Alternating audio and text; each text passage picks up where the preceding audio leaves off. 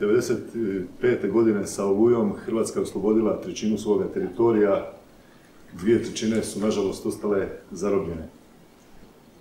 Ostao je naime mentalni sklop bivše države i upravo kroz akademiju na kojoj je prisustvovao i koju je vodio Leadership Institute na čelu sa gospodinom Ronom Heringom i kolegama.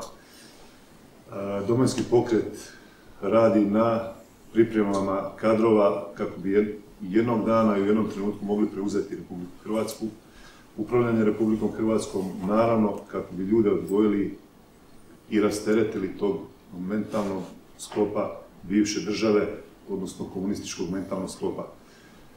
Samo sa edukacijom kadrova, samo sa razvojem komunikacije i suradnje sa našim partnerima, američkim partnerima, od kojih imamo što naučiti, možemo osigurati Hrvatskoj perspektivu koju želimo, a to je da kao društvo i kao država budemo uz bok i konkurentni sa našim europskim prijateljima, a ne da budemo na začelju europskih tablica i nažalost u sve većem zaostatku u odnosu na one prezadnje.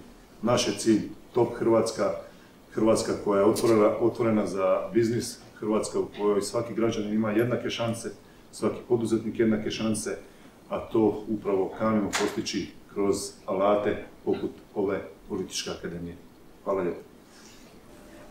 Otprilike nas je 70 na ovoj konferenciji sudionika koji smo pripremili dakle, za članove domovinskog pokreta koji su, kako ste čuli, budući kandidati na izborima. Ono što nam je misao, što nam je zapravo nekakav pokretač cijele ove ideje da ljudi dobiju informaciju i drugačiji pogled e, na politiku, na svijet oko nas i to naravno ne, nismo slučajno razgovarali, dogovorili sa Leadership institutom e, suradnju e, jer smo htjeli da to nam bude neko i svjetonazorski blizak, ali i, i netko tko je u nekoj top sferi, najboljoj sferi u svijetu.